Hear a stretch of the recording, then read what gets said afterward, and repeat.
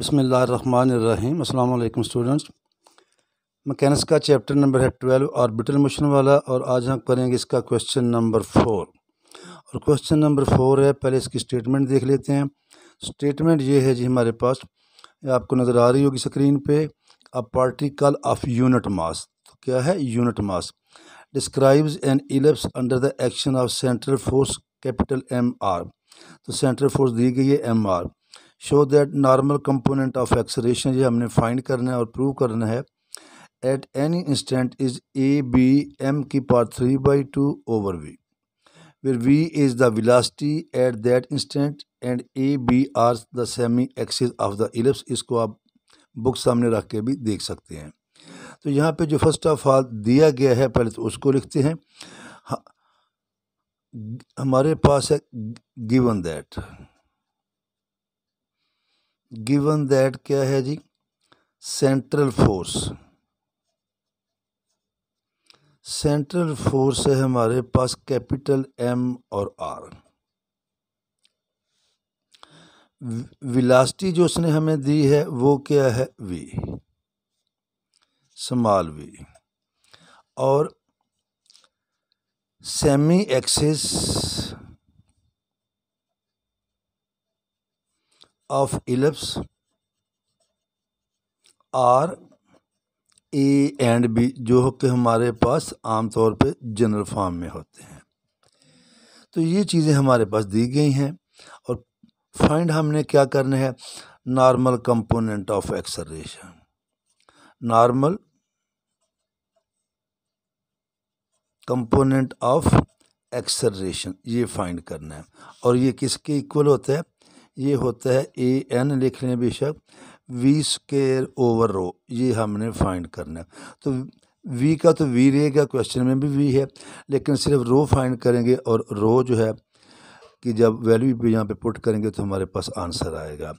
और यहाँ पे दो तीन बातें हैं, वो सॉल्व करने से पहले इन चीज़ों का आपको ऑलरेडी इलम होना चाहिए। वो ये है कि कैलकुलस में हमने पढ़ा था number one pedal equation of the ellipse is जो है यू एक मिनट पीटल इक्वेशन का जो फार्मूला हमने पढ़ा था, इन पोलर फॉर्म वो ये था। D R by D theta, ellipse के लिए नहीं, तमाम कर्व्स के लिए। और इसी में जब हम आर को पुट करते हैं, आर इज़ इक्वल टू ये वन ओवर यू तो फिर ये हमारे पास बन जाता है one over P square U square plus D U by D theta का स्केर नंबर वन तो आपको ये याद रखना पड़ेगा। ये क्वेश्चन के अंदर प्रूव करने की कोई ज़रूरत नहीं है, क्योंकि ऑलरेडी हम ये कैलकुलस में कर चुके हैं। नंबर टू हमने पढ़ा था कि pedal equation of ellipse is one over A over P square is equal to one over A square plus one over B square minus R square over A square B square ये भी हम calculus में find कर चुके हैं। अगर हम इसको ए स्केयर बी स्केयर से मल्टीप्लाई कर दें तो ये आएगा A square B square over P square इसे करेंगे तो ये आएगा B square plus A square minus R square. A square, B square से मल्टीप्लाई कर दिया। इसका एक स्टेप और करते हैं और इसको हम इस तरह लिख लेते हैं ए स्केयर पहले प्लस बी स्केयर और माइनस आर स्केयर। ये चीज़ भी आपको याद रखना पड़ेगी।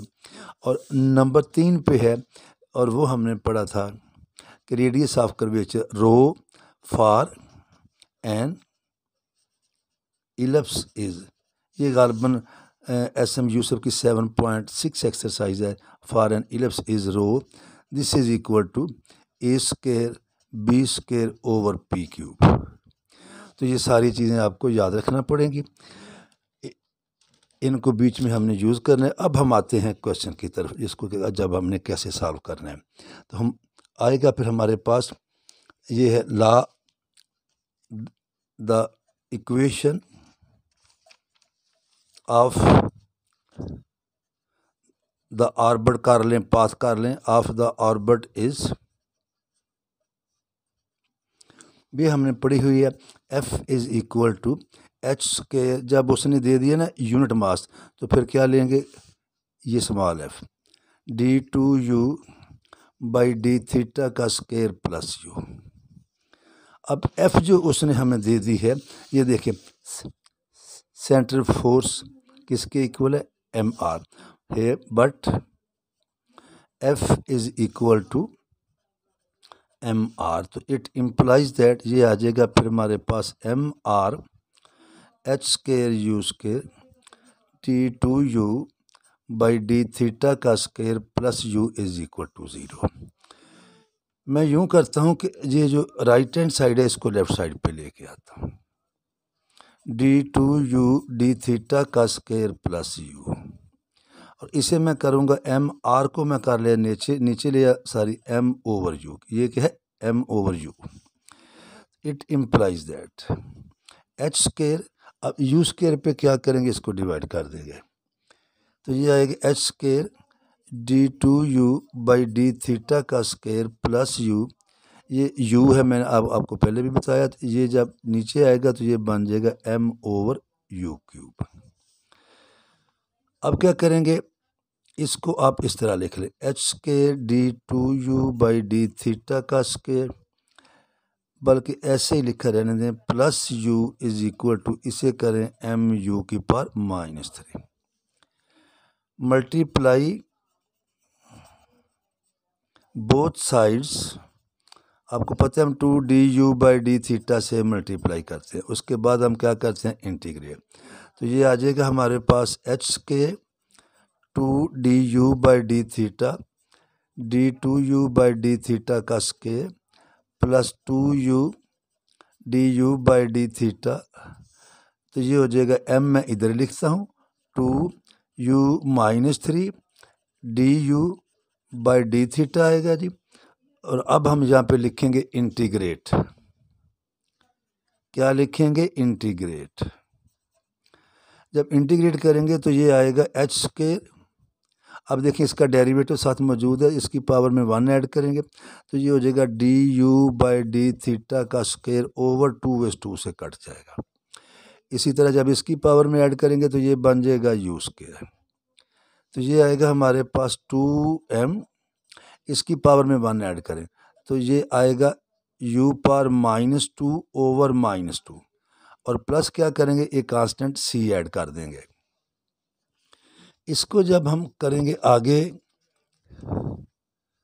तो ये फिर आएगा हमारे पास। अब देखें, ये चीज़ जो है, ये मैंने अभी आपको बताया। ये किसके इक्वल है? ये आ जाएगा। It implies that H square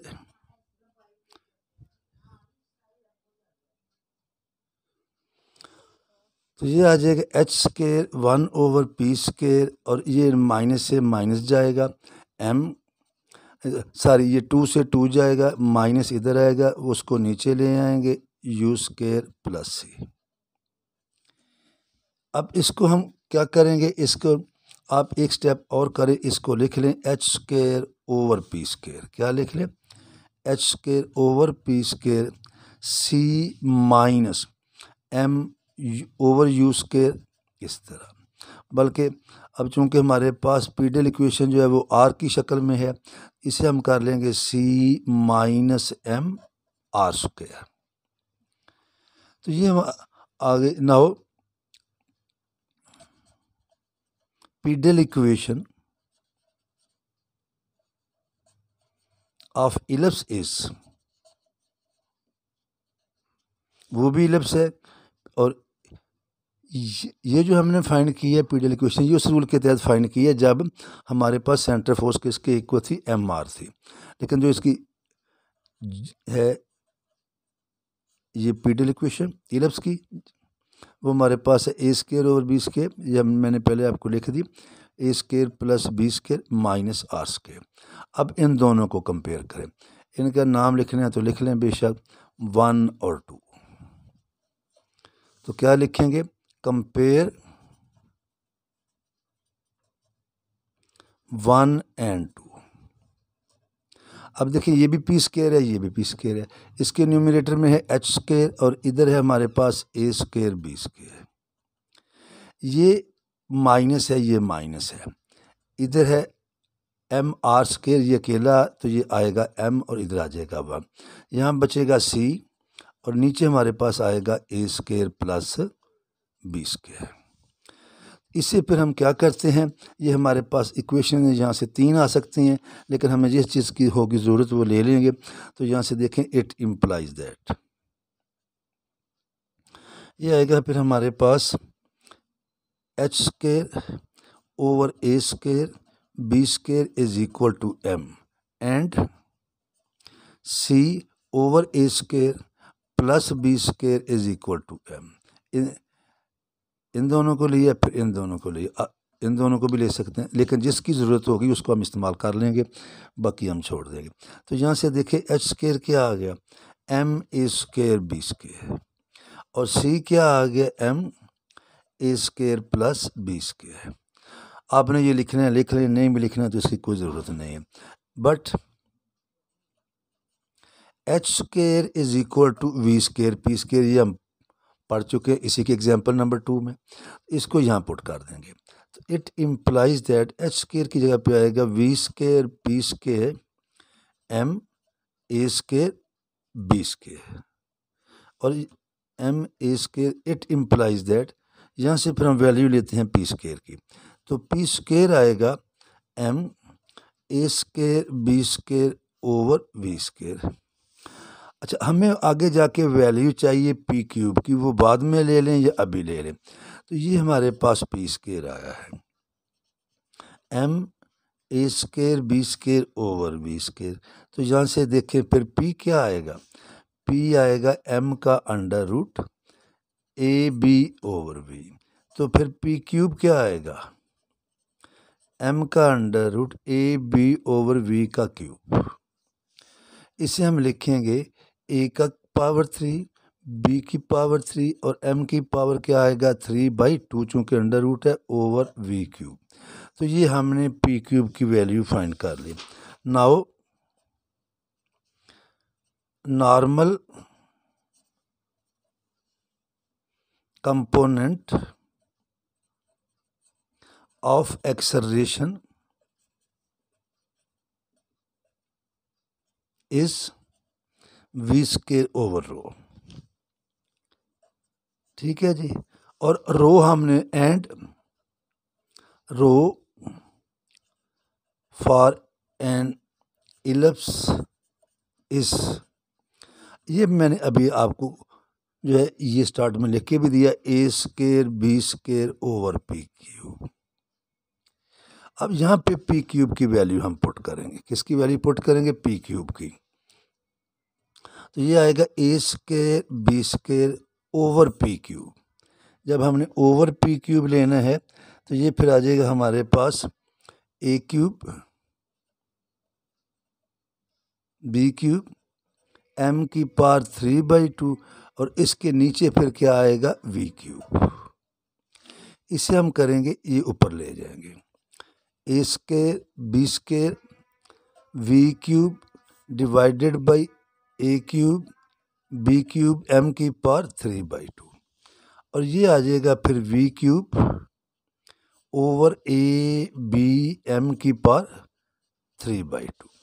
तो सो लिखेंगे वो जो हमने लिखा normal component of acceleration V square over rho. ये आएगा वी स्केयर ओवर रो, जो है ये इसके नीचे आएगा या यूँ लिख लें, divided by V cube over A B M की पावर थ्री बाई टू अब हम क्या करेंगे? इसको उल्टा देंगे और यहाँ पे क्या आ जाएगा? मल्टीप्लिकेशन तो ये आएगा वी स्केयर तो ए एन आएगा फिर हमारे पास वी स्केयर और ये था जी, ए बी सॉरी यहाँ पे था एम की पावर थ्री बाई टू ये आ जाएगा हमारे पास, जब इसको into A B M की पार थ्री बाई टू और डिवाइडेड बाई क्या आ रहा है? वी क्यूब आ रहा है। तो ये हम इसको उल्टा देंगे। तो अब हम जब इसको सिंप्लीफाई करेंगे तो ये आएगा ए बी एम की power three by two divided by V ये हमारे पास आंसर आ जाएगा। नॉर्मल कंपोनेंट ऑफ़ एक्सलेशन तो नेक्स्ट टाइम फिर इंशाल्लाह ताला क्वेश्चन नंबर फाइव करेंगे और एट करेंगे। अल्लाह हाफ़